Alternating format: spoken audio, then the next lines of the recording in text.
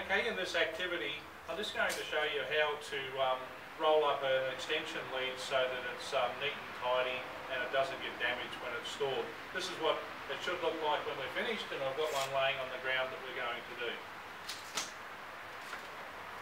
The first thing we do is we make a loop and then we just continue with that loop, trying not to have the lead get tangled as we're doing it.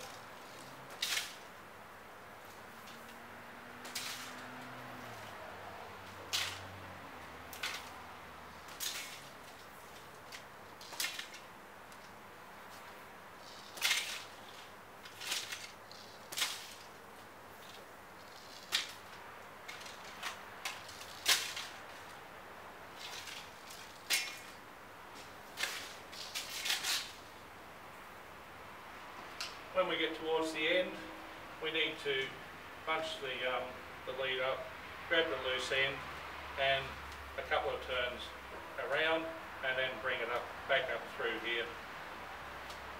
And we've got a nice neat tidy lead back away. Thank you.